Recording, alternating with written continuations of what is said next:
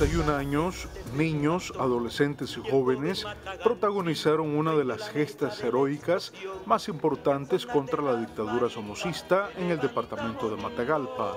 Se insurreccionaron contra la genocida guardia luego de que ésta le quitara la vida al joven estudiante José Alberto Chavarría, héroe de la insurrección de los niños, en cuya memoria fue develado un monumento.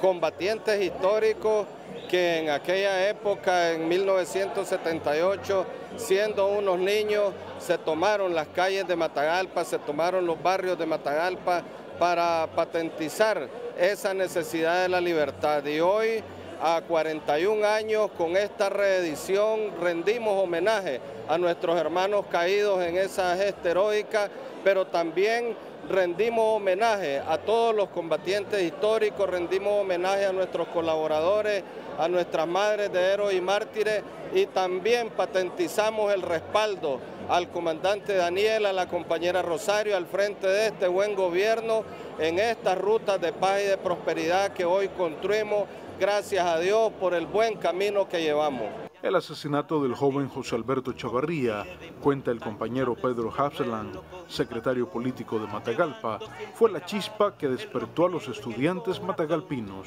Por el simple hecho de ser joven fue asesinado y esa fue la chispa que despertó en la juventud matagalpina, en los estudiantes matagalpinos y su familia, porque hubo mucho respaldo. Entonces hoy rendimos homenaje a este compañero, así como rendimos homenaje a los mártires del Hotel Sosa también, que durante esta gesta fueron asesinados por la Guardia de una manera cobarde y criminal. Rendimos homenaje a nuestro hermano Damaso Blandón, también otro joven que vimos caer en las calles matagalpinas eh, luchando por la libertad de nuestra juventud y de nuestro pueblo. Explotó ese coraje de los niños que hicieron posible que se incendiara revolucionariamente en rebeldía Matagalpa y todo Nicaragua.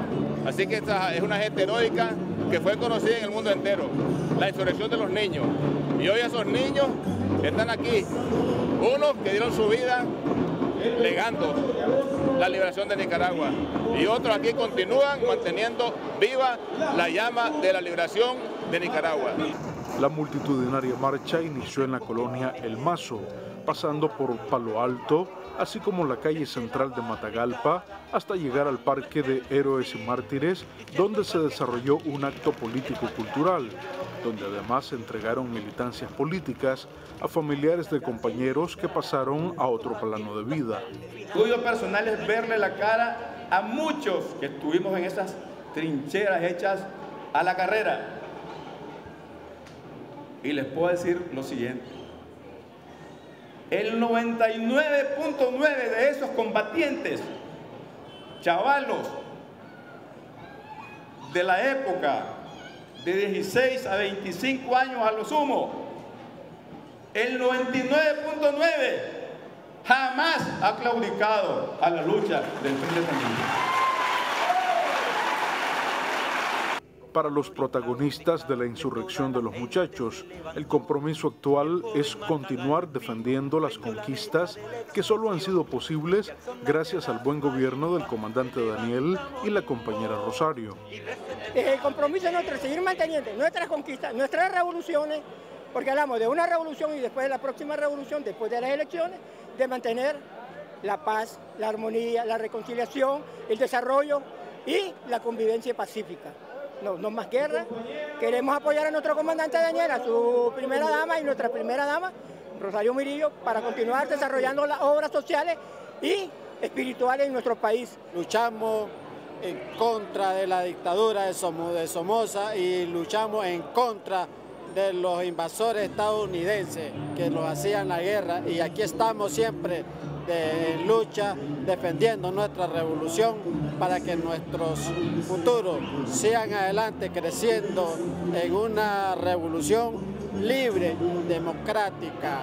Al finalizar este emotivo acto en honor a los héroes de la insurrección de los muchachos, se realizó una alegre cantata revolucionaria que puso a bailar y disfrutar a los presentes. Rudy Contreras, Multinoticias.